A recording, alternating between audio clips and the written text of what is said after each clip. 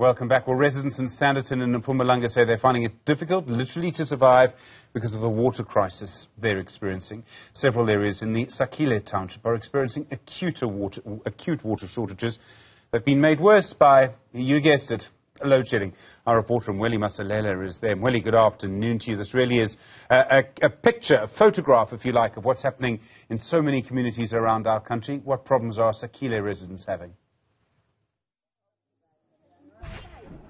Indeed, uh, Stephen, this is not a new problem. We know that uh, there's been several matches uh, held by residents of Standerton in the past, and uh, uh, the situation now, they are saying that, according to the community members, it's getting worse because of the load shedding. So as you can see here, I'm on the street here in Extension 2, Sakhile Township. This is one of the most affected areas. In fact, community members, when I arrived here early, they told me that they've been waiting for a water tank to deliver water water here, and that has not happened until now. So those are some of the issues that they are not happy about. And uh, the Democratic Alliance, uh, Alliance, uh, Stephen, actually coming out, they're releasing a statement uh, to say that they want um, action to be taken now, considering the dire situation on the ground. We had uh, uh, the Member of Parliament of the DA here, Angel Khanyile, actually on the ground assessing the situation, and she's saying that they engaged the municipality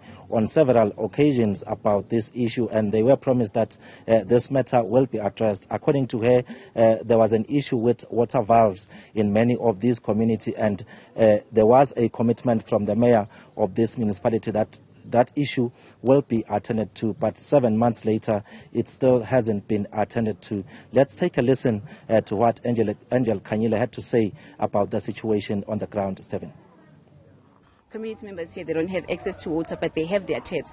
Their taps have been dry for more than 10 years without any explanation that has been given to them. When we spoke to the executive mayor, he indicated that the issue here is the issue of the valves.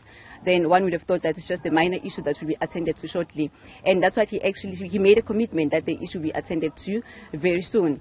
But seven months later, even after that meeting, the community of Extension 2, they still go without water. And right now, they've also informed us that they have uh, the trucks, the water trucks has not been dispatched to this particular area for, for more than four weeks. That is why you can see all these buckets here. And they're also complaining that when, bucket, when the trucks are also coming here, they are coming in here bringing dirty water. As a Democratic Alliance, on the 23rd of September, the, of September, we have written a letter to the municipal manager to address this issue, to give us a plan and to also give us um, um, a plan of exactly how he's going to resolve it. And we have given him ten, seven days to attend to the matter.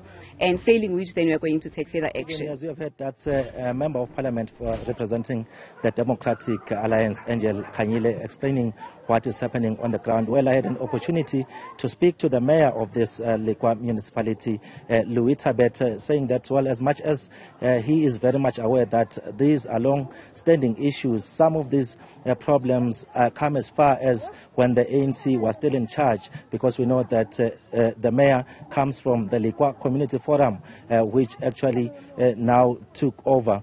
Uh, as, a represent, uh, as, as a representation uh, from the, in this municipality. But let's take a listen to Louis Tabete explaining that load shedding has also worsened the situation in this area.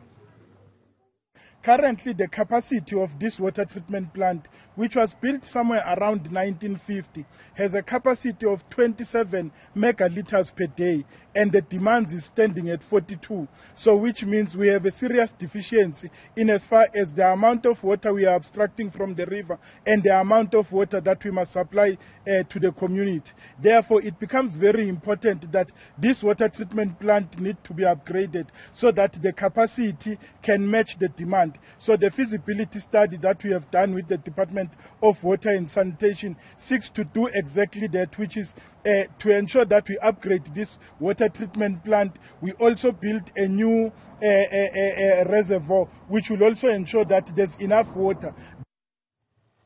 Mweli Masilela for that live report and that update. Thank you very much indeed. Shining